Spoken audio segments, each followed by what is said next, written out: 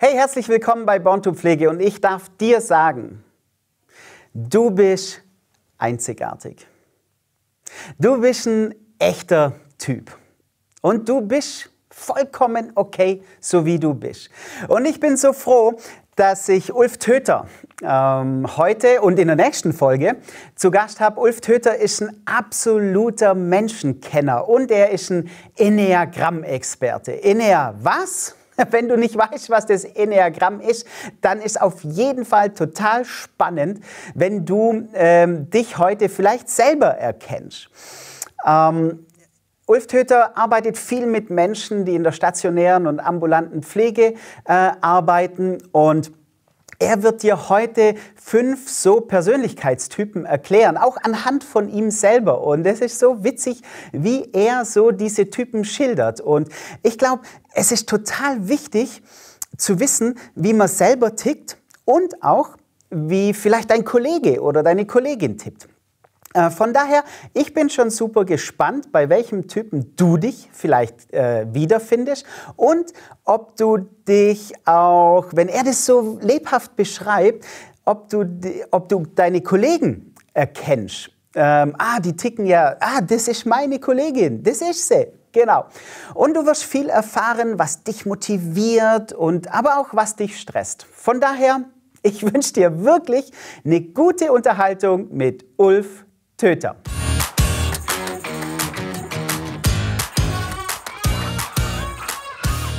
Jawohl, und da sind wir auch schon, Herr Töter. Herzlich willkommen bei Born to Pflege. Ja, hallo. Jawohl. Ähm, meine erste Frage an Sie. Ähm, Pflegekräfte benötigen ja in erster Linie Empathie für ihre Anbefohlenen, für die Bewohner, sage ich jetzt mal. Hm aus Ihrer Sicht her, warum ist es denn gen mindestens genauso wichtig, ähm, ein Gespür für sich selber zu haben, so eine gewisse Kenntnis, wie man selber so tickt? Das ist eine Voraussetzung. Also gute Menschenkenner, die zeichnen sich vor allem dadurch aus, dass sie erst einmal sich selber gut kennen.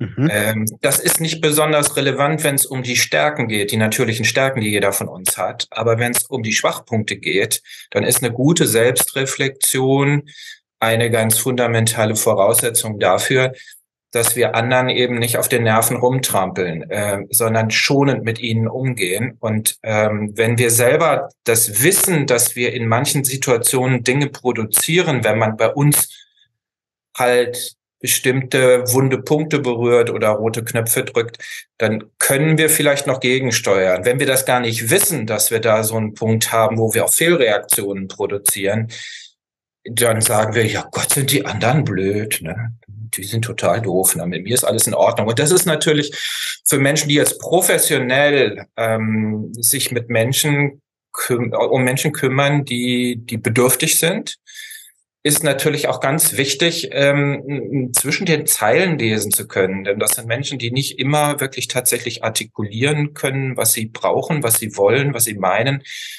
Und da ist natürlich eine gesunde Menschenkenntnis wirklich absolutes Kerngeschäft für Pflegende, ne? weil sie müssen immer, sie, sie können einfach ähm, Patienten oder Bewohnerinnen nicht beim Wort nehmen, sondern sie müssen zwischen den Zeilen nehmen, was meint da jemand eigentlich? Und, mhm. und ähm, da ist natürlich eine gute Selbstreflexion wichtig, dass ich, dass, dass ich weiß, okay, ich mache auf der einen Seite aus meinen Stärken was Gutes, das, was bei mir natürlich so angelegt ist und was ich ganz oft mache und auch gerne mache, dass ich das in der richtigen Dosis tue und, und, und nicht übertreibe damit. Ne? Das, das ist eine Form von Selbstkontrolle, die bei den meisten Menschen erstmal so gar nicht angelegt ist, sondern die wir erst im Laufe unseres Lebens lernen, dass wir uns auch zügeln können und so eine, so eine Überreaktion verschiedenster Art eben auch, auch vermeiden können, weil sie unter Umständen unser Gegenüber dann auch ähm, in einer Art berühren können, die für ihn oder sie sehr unangenehm ist. Mhm. Also nicht nur die anderen sind blöd, sondern ich bin auch manchmal blöd.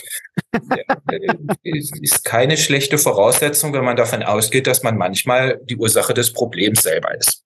Okay. Ähm, jetzt haben Sie ein Buch geschrieben, äh, wo Sie viele verschiedene Persönlichkeitstypen durchgehen. Ähm, so ein bisschen äh, wie die Persönlichkeitstypen ticken und wie sie auch unter Stress reagieren oder vielleicht auch äh, destruktiv reagieren können. Und äh, mein Anliegen ist es heute mit Ihnen mal so diese verschiedenen Persönlichkeitstypen durchzugehen.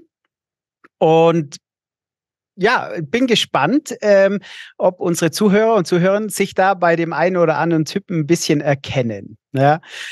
Äh, Sie beginnen in Ihrem Buch bei dem Mr. Mrs. 100 Prozent. Was zeichnet den denn aus und wie reagiert der so im Stress? Also dieser Menschentyp, also wenn wir Menschentyp sagen, dann beleuchten wir die Facette der Persönlichkeit, wenn wir auf im Gewohnheitsmodus sind und auf Autopilot geschaltet sind. Also nicht in dem Modus, wo wir was wir gelernt haben im Laufe des Lebens, sondern wo unsere innersten Reflexe, so unsere Grundprogrammierung, können wir sagen, ist. Und, mhm. und dieser Menschentyp, wir können ihn auch nennen, die gewissenhaften Perfektionistinnen.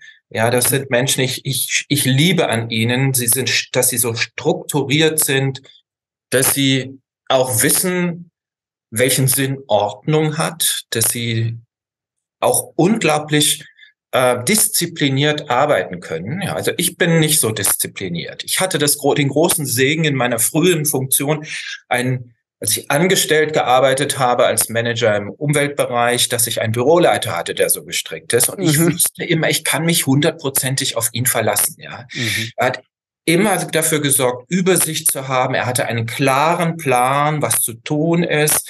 Es sind Menschen, die machen Listen und dann arbeiten sie Listen in einer sinnvollen Reihenfolge ab mhm. und sind ganz glücklich, wenn die Sachen geschafft sind. Also so mhm. Vollkommenheit. Wir können sagen, der innere Antreiber von Menschen, die so gestrickt sind, ist, ich möchte meinen Beitrag leisten zu einer vollkommenen Welt. Das wäre mein Idealbild. Ne? Wenn, mhm. wenn alles seinen Platz hat, wenn alles so ist, wie es sein sollte. Mhm. Und Menschen, die so gestrickt sind, haben dann im Umkehrschluss natürlich ganz feine Sensoren für Fehler und Mängel. Es sind mhm. immer die Ersten, die bemerken, wenn etwas eben nicht so ist, wie es sein soll. Und dann, mhm. okay. ja, ja, ja, also die, die senden schon nonverbal klare Signale, dass sie finden, das ist jetzt aber nicht in Ordnung. Sie sehen das ja, wie meine Augenbrauen hinter der Brille hochfahren. Und dann kommt dieser Blick und dieses, manchmal gehen dann auch die, diese Kerben dann so zusammen.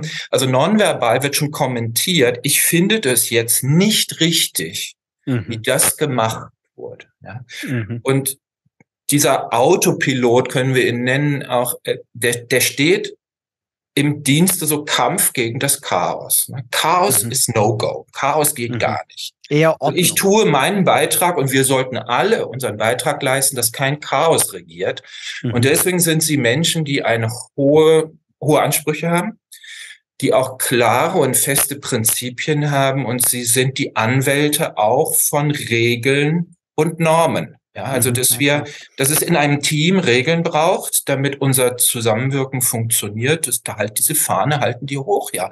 Und die halten sich auch an die Regeln und wundern sich, dass manche Menschen da so in Regeleinhaltung so ein bisschen hm, so sind. Flexibel ja. dann, kriegen die, dann kriegen die richtig Stress. Ja. Mhm. Und, ähm, also es war für mich ein großes, großer Segen, einfach zu wissen, ich muss mich, wenn, wenn mein Büroleiter mir das Wort gegeben hat, ich erledige das. Ich mhm. konnte mich immer drauf mhm. verlassen. Mhm. Ja. Was Menschen mit diesem Muster nicht gegeben ist, sie sind in Sachen Ökonomie nicht unbedingt die Besten, weil sie auch für einen kleinen, ein, eine kleine Verbesserung einen großen Aufwand betreiben. Also so dieser Punkt der Grenznutzenkurve, wo jetzt jede weitere Investition weniger Ertrag bringt, mhm. das haben die nicht so auf dem Schirm. Die strengen sich auch dann noch sehr an, um die 100 Prozent zu erreichen, mhm. die in manchen Situationen ja klug sind. Ja, wenn wir, wenn ein Prozent Fehler dazu führen könnte, dass das Ding durchfällt, ja, dass das Projekt sozusagen scheitert, dann ist das eine gute Eigenschaft, die 100 Prozent.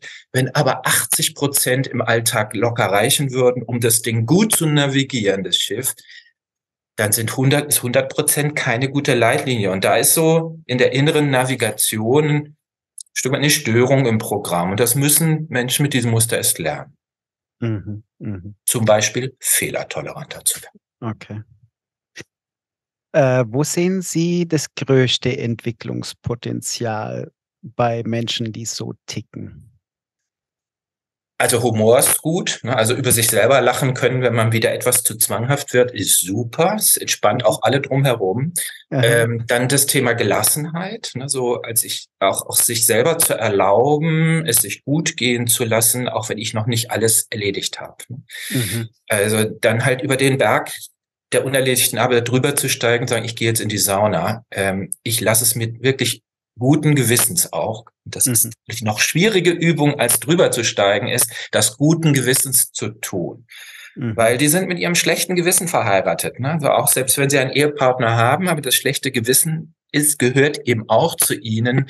wenn sie die Ansprüche nicht erfüllen, die sie sich selber mhm. gesetzt mhm. haben, dann ist nicht so toll. Ne? Und, mhm. und dass sie auch merken müssen, dass die, wie sehr sie unter Druck stehen. Also die haben selber gar nicht das Gefühl, dass sie so angespannt sind, aber andere merken das sehr deutlich, mhm. dass diese Perfektionisten unter Strom stehen. Das, ist, das Bild ist so der Dampfkochtopf ne? und, und, und die denken, mhm. oh, ich habe alles unter Kontrolle, ich bin ganz locker. Aber das Gegenüber sagt, hey, du, du stehst doch unter Druck. Ähm, mhm. Lass den Druck doch mal rechts raus und guck in, die, in einen entspannten Modus zu kommen, ne? so diesen mhm. Tai Chi-Modus. Mhm. Es ist gar nicht einfach für Menschen, die so gestreckt sind. Also mhm. Entspannung, auch genießen können, locker lassen. Mhm.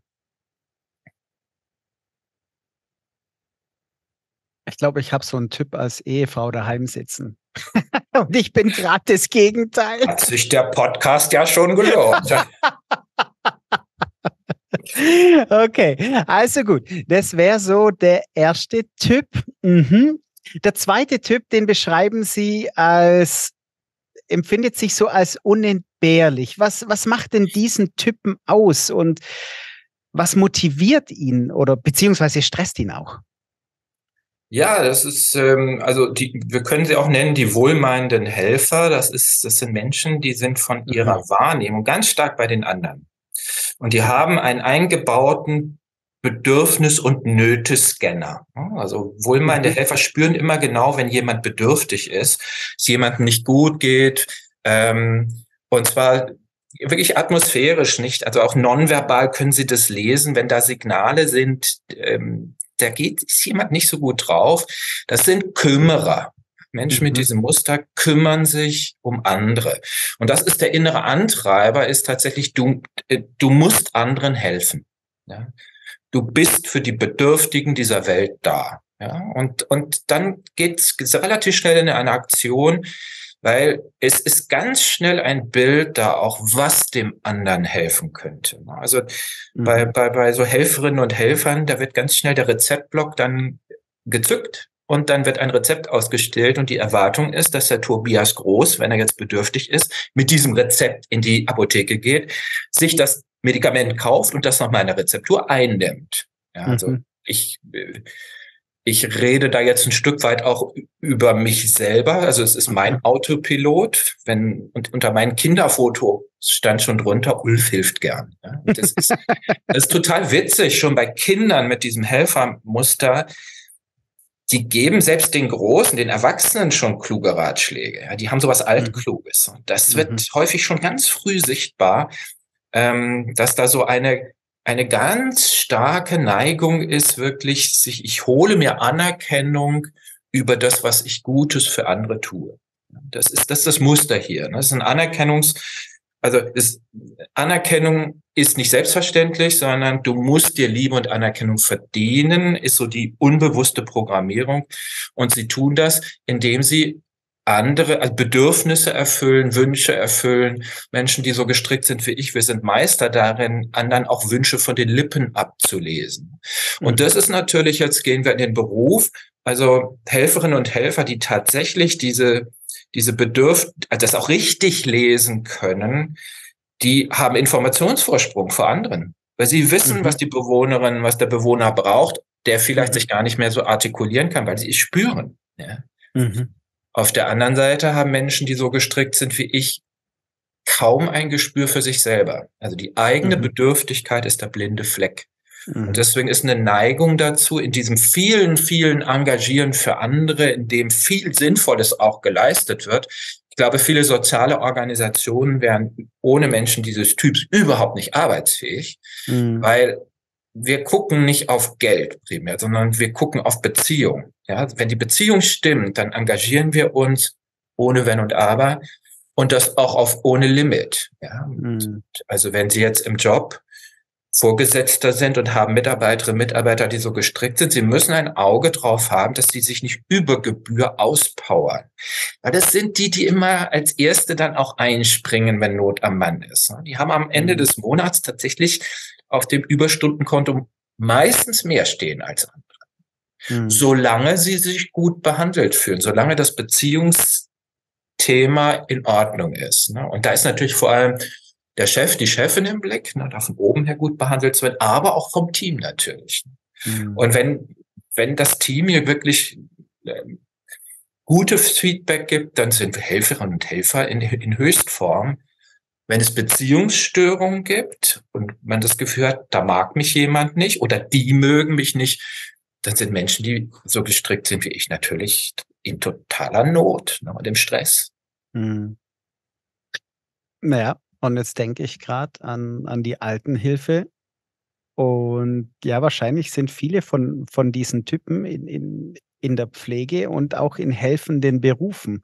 Und ja, ich kann das gut nachvollziehen. Die machen, machen, machen, machen und am Ende haben sie sich selber verloren und landen dann im Burnout ähm, ja. oder ist eine überdurchschnittliche Gefährdung in Richtung. Ja. Also Burnout kann jeder kriegen. Ja. Aber hier ist es in, in diesem Autopiloten schon mit angelegt, dass da, dass da einfach eine Gefährdung ist. Ja? Ähm, und, und da ist es gut, wenn, wenn das Team oder auch die Vorgesetzten da einen Blick drauf haben. Mhm. Es ist aber sehr schwer, einem Helfer zu helfen. er will ja immer anderen helfen. Ja, die Logik ja, ja. ist, ihr seid die Bedürftigen, mit mir, ist alles, mit, mit, mir ist alles in Ordnung, ihr seid diejenigen, die mhm. meine Hilfe brauchen. Und das ist natürlich eine Form von Selbstüberschätzung auch, ne, so, so ein Stolz, ähm, dann auch auf die Rolle, die ich spiele in dem sozialen Gefüge. Und äh, wir müssen tatsächlich dran arbeiten, uns entbehrlich zu machen und mehr auf uns selber zu gucken. Und mhm. dann sind wir, da, dann hat das Helfen eine andere Qualität dieses, dieses leiste Hilfe nur zur Selbsthilfe, das ist etwas, was Helferinnen und Helfer lernen müssen. Mhm. Ähm, da nicht zu viel zu tun, auch vielleicht nachzufragen, ob der andere überhaupt möchte, dass ihm geholfen wird. Denn das ist ein Risiko, mhm. dass man, man meint es ja nur gut und ist schon aktiv geworden und hat vielleicht nicht das richtige Timing gehabt oder nicht die richtige Dosis auch in, in dieser helfenden Aktion drin. Mhm. Und damit verletzen Helferinnen und Helfer manchmal auch Autonomiegrenzen von anderen. Und mhm. wenn die Kollegin, die das gesehen hat, dass wir da gerade zu viel getan haben bei der Bewohnerin, uns auf die Finger haut, dann sind wir tödlich beleidigt. Die beleidigte Leberwurst gehört ein Stück weit auch zu den Reaktionsmechanismen bei diesem Muster. Mhm. Mhm. Also das heißt, ähm, ein Gespür oder Ihr Rat wäre ein Gespür für sich selber entwickeln, plus ähm, dem, dem ich meine Hilfe anbiete, braucht der die jetzt überhaupt? Oder, genau. Oder und, und dann hat das, sag, ja. dann sind wir echte Stars auch in dem Tun, weil wir sind unglaublich vielseitig. Wir sind, wie gesagt, sehr empathische, ein, ein Typ, der sehr empathisch ist, mitfühlend ist, der ähm, der, der auch die Gabe hat, so in der Not tatsächlich so ähm, nah zu sein. Mhm. Ja. Mhm. Wir müssen halt die, die richtige Dosis finden. Dann ist es, dann, dann sind Helferinnen und Helfer tatsächlich auch in helfenden Berufen echte Starbesetzung. Wenn wir aber blind agieren im Muster und da zu viel tun und gar nicht merken, dass wir etwas dass wir das zurückerwarten für unser Engagement. Ja? Denn Helfer wollen gemocht werden. Und wenn das nicht mhm. kommt. Und anerkannt oder, oder wertgeschätzt. Ja, Anerkennung, oder? Wertschätzung. Ja, wir brauchen ein bisschen mehr Lob als andere. Ja? Bei anderen reicht das einmal im Jahr. Mhm. Bei Menschen, die so gestrickt sind wie ich, würde ich sagen, bisschen zu wenig. Ja, ja, und, Chefs, und streng dich ein bisschen mehr an. Und genau das hört man ja immer von Pflegekräften. Ähm, der Ruf nach Anerkennung und äh, Wertschätzung.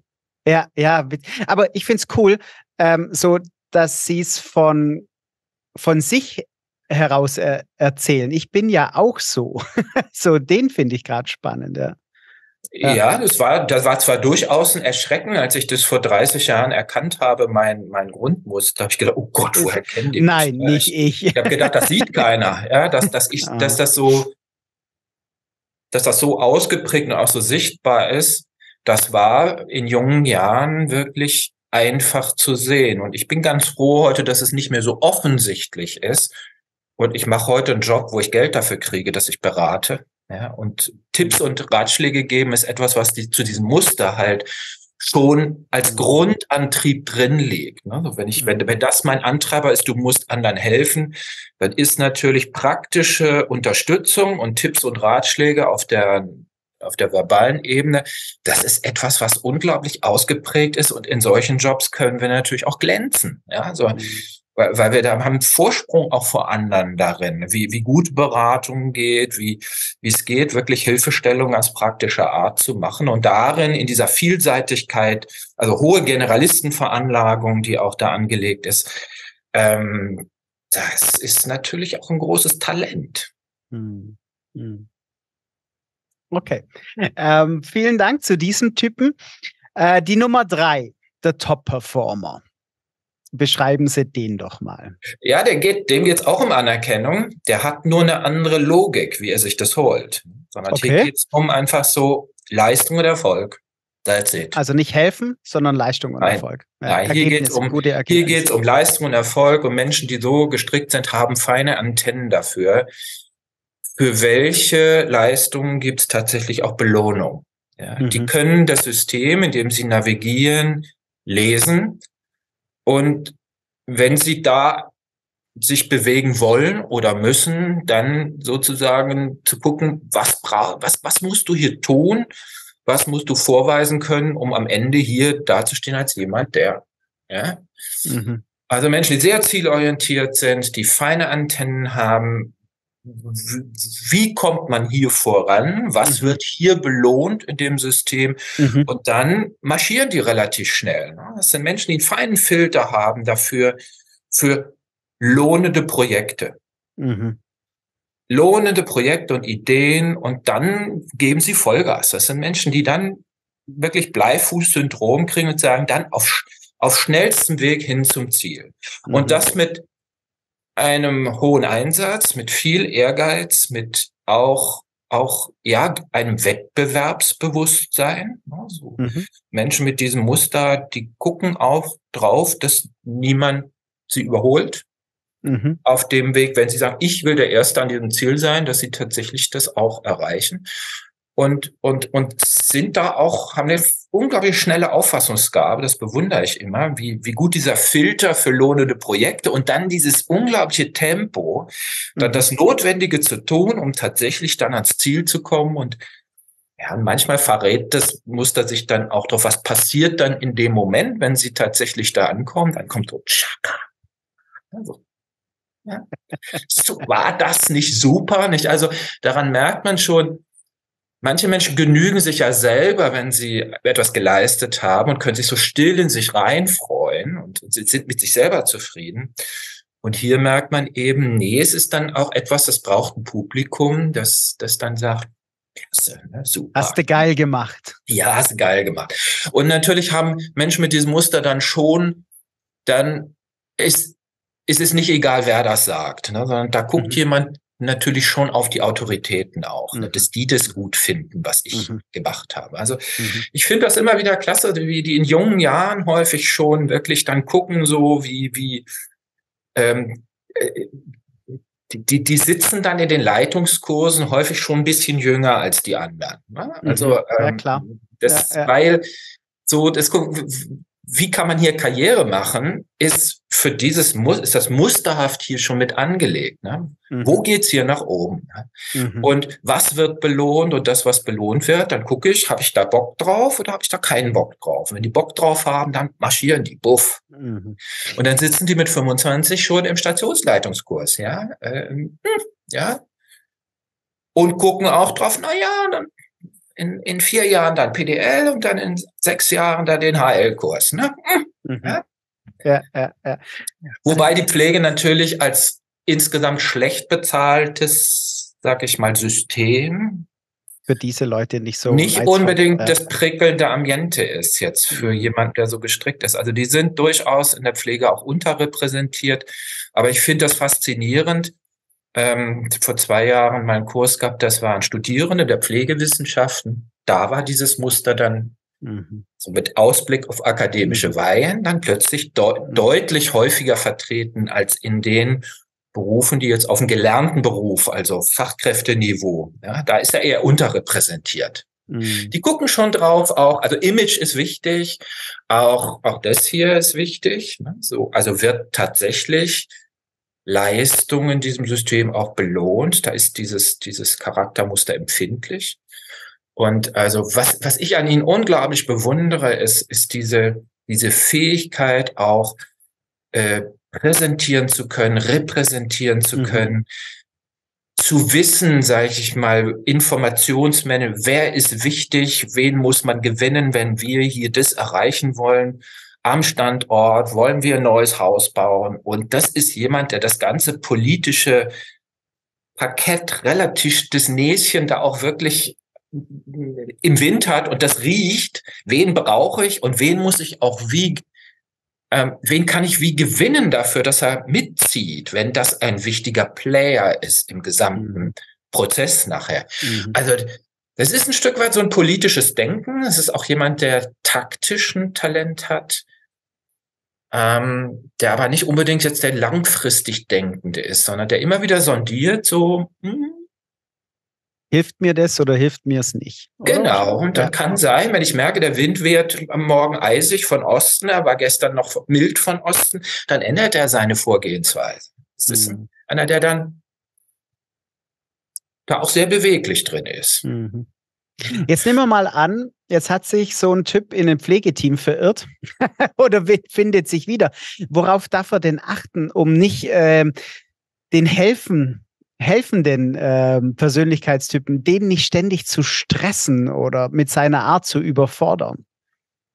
Ja, ich meine, die sind halt, was, was die stresst, ist, wenn sie gebremst werden. Also sie brauchen jemanden, mhm. der ihre Bereitschaft, ihre Motivation, ihre Einsatzbereitschaft tatsächlich fördert der aber sie davor bewahrt, Schnellschüsse zu machen. Denn das ist ein Autopilot, der zu Schnellschüssen neigt, mhm. der auch dazu neigt, Kompetenzen mal so in der Energie des Tuns sich nicht an die Kompetenzregelungen zu halten, die bei uns eingeloggt sind, sondern sozusagen in der Fixierung auf ein Ziel dann auch Dinge macht, wozu gar keine, also wozu sie gar nicht legitimiert sind. Und da brauchen mhm. sie natürlich jemand, der sie dann einbremst.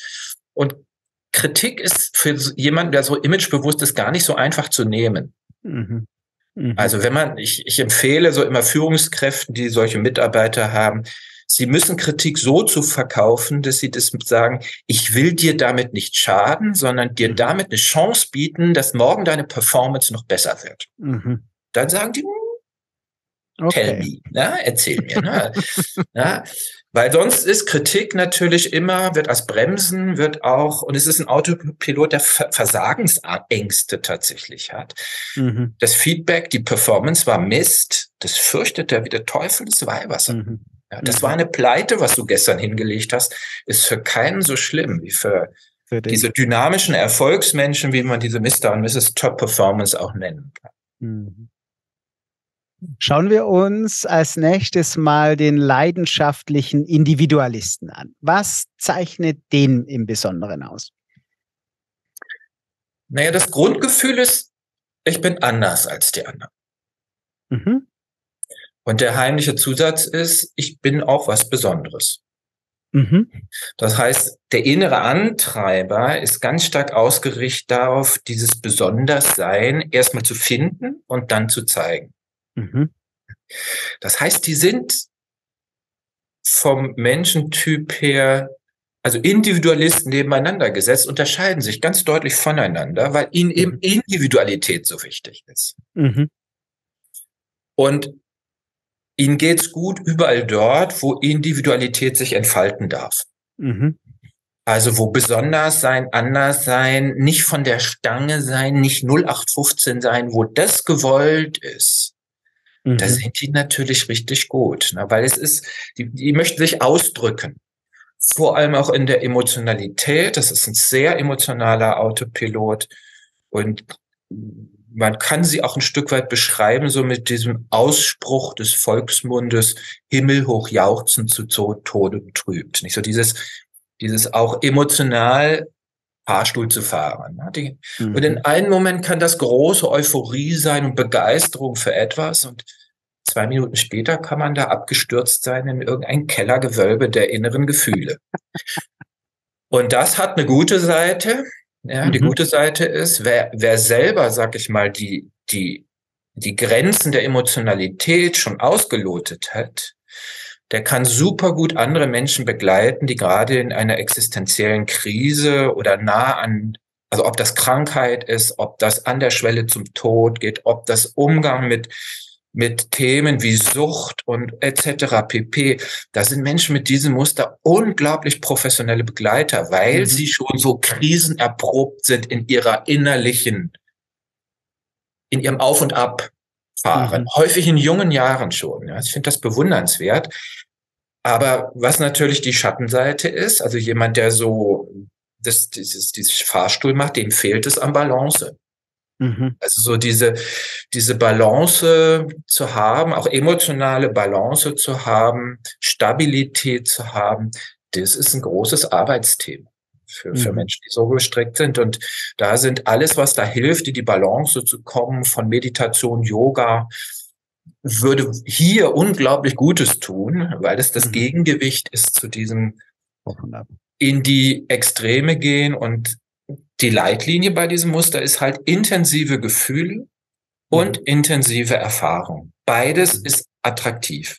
Je intensiver etwas ist, desto interessanter ist das für einen Individualisten und je mehr es nach Alltag und Standard und Schema F klingt, desto mehr denkt jemand, oh Gott, mhm. da habe ich jetzt echt keinen Bock drauf. Mhm. Also ich, ja. Die kriegen von, von Worten wie normal oder Alltag, kriegen die Ganzkörperausschlag.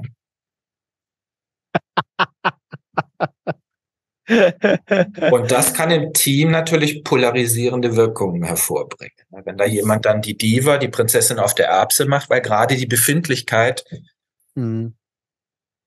Nicht da ist, wo die anderen sind, dann, dann kann das natürlich auch sozial hm, schwierig werden. Mhm. Ja, jetzt überlege ich mir halt, ähm, wir haben jetzt in, in einer Altenpflegeeinrichtung auf, auf einem Wohnbereich gibt es ja bestimmte Abläufe und es gibt ja. Strukturen und es gibt Regeln. Ähm, was kann denn so ein Typ machen, um da trotzdem entspannt, sage ich jetzt mal, äh, seine Arbeit zu tun, auch wenn viel geregelt ist?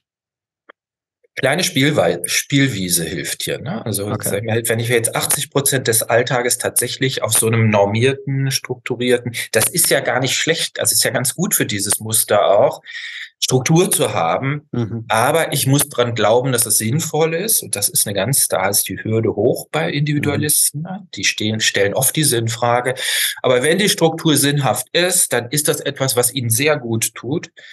Aber um gut zu funktionieren, ist hilfreich, wenn der Vorgesetzte auch den Blick drauf hat oder das Team den Blick drauf hat, dass so jemand auch eine kleine Sonderaufgabe mhm. oder so einen kleinen Bereich, also zum Beispiel so, so ein Pflegepodcast dann Born to Pflege zu managen, wäre für so jemanden durchaus interessant, weil weil das macht nicht jedes Haus. Das ist etwas, was, da ist man vorne dran in der. Sie halten mir jetzt den Spiegel vor, hä? Nee, nicht unbedingt. äh, da kommt noch ein Autopilot, der auch da ganz oh, vorne okay. ist. Also aber, warten Sie noch ein bisschen. Aber ich habe da Anteile, glaube ich. Aber so dieses Charaktermuster hat, hat da eben etwas, weil sie sind kreativ, sind originell. Und da etwas zu machen, was eben nicht dem Mainstream ähm, entspricht, mhm. sondern was außerhalb des Mainstreams oder vorne dran vor der Bugwelle ist, ist, ist schon äh, auch ein Teil der inneren Motivation. Mhm. Und, ähm, und apropos Pflege, ähm, ich bin da immer wieder fasziniert. Die finden, dieses Muster finden wir besonders häufig dort, wo die richtig schweren Fälle sind. Ja? Mhm. Also je schwieriger und je härter, sage ich mal, das Schicksal, umso interessanter ist das für die. Ne? Also wenn dann, wenn die im Krankenhaus sind, gehen die gerne in die Onkologie. Ja? Mhm. Oder die machen dann im, im, im, in der Altenpflege dann ja Gerontopsychiatrie, super, gehe ich hin. Ne? Oder auch, mhm. auch forensische, mhm. äh, in, in der Forensik oder so. Also da, wo es Dinge, Arbeitsbedingungen gibt, die jetzt schon auch schwierig sind, ne? also die so für den Normalbürger, sage ich mir, der dann sagt, oh Gott, das, das macht mir Angst oder so, da sagen die, oh, klingt nicht uninteressant. Ne? Mhm. Mhm. Da, wo auch tatsächlich das Leben in seinen existenziellen Formen tobt, da gehen die gerne mhm. hin. Weil sie es erfahren müssen oder? Das, das was Sie gesagt haben. Weil, weil ihnen das Energie gibt. Dann kommen ja, sie in ja. überall da, wo Intensität ist, ist die Energie, die sie dann lebendig, dann fühlen sie sich lebendig. Da, wo Durchschnitt und Standard und Schema F und und, und wenn der Vorgesetzte kommt und das das, das, das, das Handbuch hinknallt, dann kriegt, dann drehen die schon ab und sagen, ey, fuck, ey, piss off, ja, geh weg mit deinem Handbuch. Ne? Und da könnt ihr gerne nacharbeiten, aber ich mache das so, wie ich das Mhm. Ne, ich pflege individuell und ich, ich spüre, dass Frau Müller das anders braucht als Frau Meier. Und ich mache mhm. das dann eben auch anders. Mhm. Ja, ist, ja, ist schon witzig, weil ich komme, ich war am Wochenende zum ersten Mal auf einem Klettersteig unterwegs. Ja, und das ist Spannung, Herausforderung, spüren. Also ich, ja, okay. Ich habe Anteile von dem Typ. Gibt's noch, äh, es gibt auch noch den Independent. Typen. Ja, das sind die stillen Beobachter, ganz ja. klar, das sind Kopfmenschen. Das ist, also da geht es mehr um Sicherheit, also nicht um mhm. Anerkennung, sondern das ist so, Sicherheit ist so das, was, wo man was tun muss, um sich sicher zu fühlen. Und, und bei, bei diesem Beobachtertyp der pflegt tatsächlich seine Unabhängigkeit sehr stark. Ähm, er ist sehr empfindlich für Nähe und Distanz. Ne? Das sind Menschen, die beobachten gern andere mhm. und machen sich ihre Gedanken, analysieren gerne, aber werden nicht gern selber beobachtet. Das ist, ist, mhm. ist eindeutig so der, der, das Charaktermuster, was am stärksten tatsächlich so als, als, als so verstandesmäßig ge, äh, geprägt ist. Ne? Und, und so der, der innere Antreiber ist, du musst wissen und du musst objektiv bleiben. Ja? Mhm. Und das können sie gut. Ne? Das sind Menschen, die sich ganz schwer manipulieren lassen, sondern die, die, die sind kluge Köpfe, die denken immer erst mal nach, bevor sie handeln die durchdenken auch Abläufe und Strukturen und, und haben ein starkes Bedürfnis, nicht mehr Energie auszugeben als unbedingt nötig. Ja? Mhm. Und zwar das sowohl, was ihre Zeit, was ihren Raum angeht, was auch Geld angeht. Und so agieren sie auch im Beruf. Das sind, das sind Menschen, denen können sie das Finanzressort für ihre Einrichtung gerne anvertrauen, weil die geben Geld nur aus, wenn es tatsächlich einen vernünftigen Grund gibt, das zu tun. Mhm. Und da wird erst einmal drüber nachgedacht. Zement, die beschaffen sich auch das relevante Wissen, das man braucht, um tatsächlich im Job einen guten Job zu machen. Mhm. Sie sind vom Typ dann aber anders als jetzt mein Muster. Wir Helfer haben eher Generalistenveranlagung, aber die, diese stillen Beobachter, das ist eher ein Spezialistentyp. Wirken die auf die helfenden Helfer auch ein bisschen distanziert? Ja, das, das ist, also für einen Helfer wirkt das wie eine, wie eine emotionale Wüste. Und die, die sind immer so, immer so rational und so bedacht und so, mhm. ähm, ja, das, das, das, das wirkt so emotionsarm, ja, mhm. und, und das ist für, das ist für uns Helfer ein totales Rätsel, wie man so durch die Welt navigieren kann, mhm. ja. Und es einem dabei gut geht. Und für stille Beobachter ist das tatsächlich wichtig, dass sie, dass ich sage, ich brauche meinen Raum, meine Zeit und und ich zeige anderen auch ziemlich deutlich an, dass, dass sie mir oft viel zu nahe kommen. Mhm. Mhm. Also es ist so ein Charaktermuster, was in Sachen Nähe und Distanz deutlich größeres Distanzbedürfnis hat als der Rest der Bevölkerung. Mhm. Und das überhaupt nicht haben kann, das ist zum Beispiel im Team ganz wichtig, dass sie dabei bei, bei diesen Beobachtern nicht anfangen, da rumzutatschen. Ja? Mhm. Also, mhm. ne, so Ich mache das vielleicht mit meiner Lieblingskollegin, aber ich habe nicht das Bedürfnis, hier mit jedem Schmusekurs zu fahren. Mhm. Also die trennen auch Beruf und Privat strenger als andere Muster und sind da ganz konsequent drin. Mhm. Mhm. Ja. Das geht euch auch nichts an, mit wem ich verheiratet bin und wo ich in Urlaub hinfahre. Das Bedürfnis, das mitzuteilen, ist gering ausgeprägt. Es sind mhm. in Sachen Kommunikation auch die sparsamsten. Das mhm. sind die Erfinder der drei Wortsätze. Subjekt, Prädikat, Objekt. und wenn Sie jetzt Menschen haben, die so viel erzählen und ausholen, weit ausholen, das stresst Beobachter. Mhm. Weil sie das Bedürfnis haben, so viel zu sagen, wie man unbedingt sagen müsste, um tatsächlich etwas Sinnvolles zu tun und kein Wort mehr. Wortkarg. So viel wie nötig, so wenig wie möglich. Das mhm. ist das ist die ganz natürliche Devise hier. Und dieses immer verhaftet der Logik. Ja, es ist, es ist wirklich ein Charaktermuster, das funktioniert entsprechend der Gesetze der Logik. Und da, wo Logik gewollt ist, gefördert wird, da sind sie gerne, da können sie sich super entfalten, sind mhm. gute Strategen auch, also jemand, der so sich Mühe gibt, tatsächlich nichts zu verschwenden, der kann natürlich auch diese innere Haltung auch einbringen zum Wohle der Firma. Hm.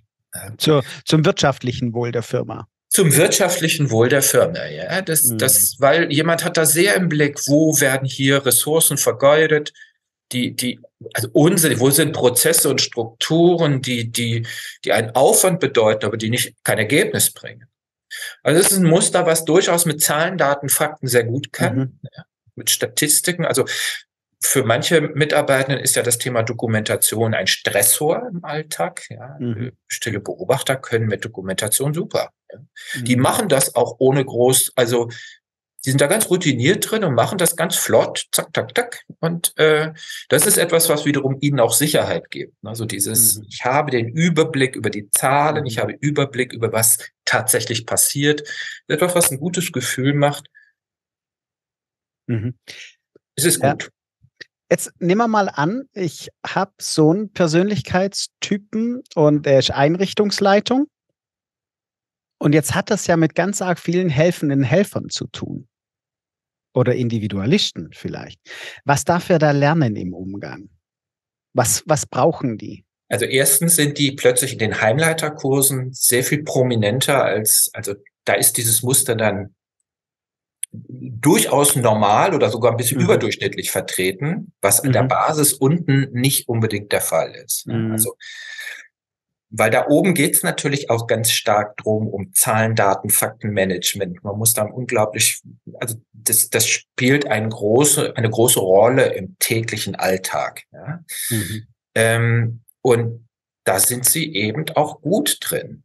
Was Mitarbeitende aber oft kritisieren ist, ist das Thema Empathie. Ja. Mhm. Zu wenig Herz, zu wenig Einfühlsamkeit, ähm, zu wenig Verfügbarkeit. Ne? Also man muss, muss lange auf einen Termin warten, kommuniziert mhm. auch zu wenig und kommuniziert in einer Art und Weise, die häufig eher kühl rüberkommt. Mhm. Also dieses naja, Subjekt, Zahl, Prädikat, Objekt halt. und dieses ja. Ja. tonlose Sprechen, das sind Menschen dozieren von der Kommunikation eher ja. so so eine Art dann und das wirkt natürlich auf Menschen, die jetzt sehr emotional sind, schon fast abweisend. Also mhm. mehr zugehen auf Menschen, mehr in die Mitte, aus der Mitte herauszuführen. Also wenn ich Führungskräfte mit diesem Muster begleite, so im Führungskräfte-Coaching, dann ist so eine Leitlinie immer übe aus der Mitte herauszuführen und widerstehe der Versuchung, aus dem hintersten Kämmerlein zu führen. Denn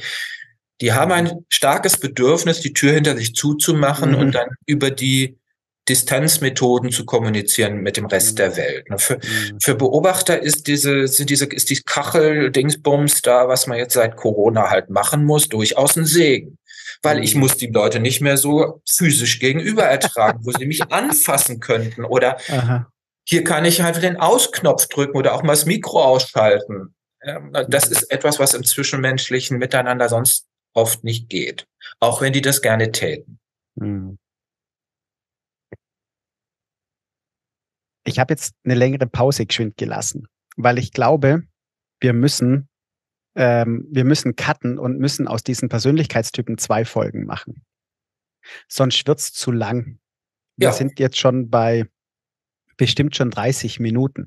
Deswegen ähm, würde ich jetzt so eine kurze, ähm, so ein kurzes Auf Wiedersehen machen. Ja, erstmal und dann äh, steigen wir in die nächste Folge mit dem nächsten Typen ein. Wäre das mhm. okay? Ja. Okay.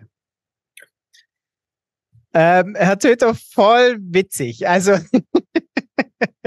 wie Sie das so geschildert haben, so schauspielhaft. Äh, ich selber habe mich wieder gekannt, äh, erkannt und auch ähm, verschiedene Leute, die ich kenne, äh, sind vor meinem inneren Auge auf, aufgeploppt. Ich dachte, ja, er beschreibt sie. So, so sind sie. Und, ähm, und ich finde es so cool, wie sie das so beschreiben. Und ich glaube, wenn ich ihr Anliegen verstehe, ist, dass, dass jeder, wie er ist, einfach auch okay so ist, wie er ist. Er muss sich nur so seiner Wirkung auch manchmal bewusst sein, wie er eben auf andere Typen wirken kann, oder? Genau, seiner Bewirkung bewusst und dann seine Hausaufgaben machen. Ne? Also dann halt tatsächlich lernen, so Überreaktionen zu vermeiden oder wenn, wenn Fehler passieren, tatsächlich dann auch zu sagen, hey, sorry, ich, ich strenge mich beim nächsten Mal an, das nicht mehr zu machen. Ja? Mhm. Ähm, ähm, also diese Form von Selbstreflexion und dann Arbeit an sich selber ist das, was Vertrauen dann bringt. Also dann, dann ist es für andere leichter, mir zu vertrauen, ja, wenn mhm. ich das mhm. tue. In dem Moment, wo ich meine das Gegenüber verantwortlich mache für meine Fehler und dann sage, mhm. warum ist der so blöd, warum reagiert er so bescheuert, verschlimmere ich das ja. Ne? Und das ist das, was im Alltag häufig so trennen wirkt. Mhm. Ja, ja. Ja, ich glaube, Sie haben sehr gut ähm, aus, drüber gesprochen, warum es so wichtig ist, auch ein Gespür für sich selber zu haben, weil oft ist nicht der andere das Problem, sondern weil ich eben auch, auch meine Tücken halt habe. Ja. Ja, richtig cool. Ja, wir werden uns in der nächsten Folge noch ein paar Typen anschauen und ich bin schon richtig gespannt drauf, ähm, wen Sie uns da als nächstes noch so präsentieren werden. Ich freue mich drauf, Herr Töter. Ciao. Ja, er echt so cool, oder? Äh, wie der Ulf Töter das so schildert und so beschreibt, diese unterschiedlichen Typen. Und hast du dich schon erkannt? Vielleicht so wie der Ulf Töter beim wohlmeinenden Helfer? Davon gibt es ja total viel in der Altenpflege. Ähm, genau, wenn du dich noch nicht wiedererkannt hast, dann vielleicht in der nächsten Folge, weil da werden wir unter anderem auch wieder einen Typen, äh, wird er auch einen Typen schildern, ähm, der auch sehr oft in, in helfenden Berufen vorkommt. Von daher ich wünsche dir eine gute Woche und wir sehen uns nächsten Mittwoch. Ciao!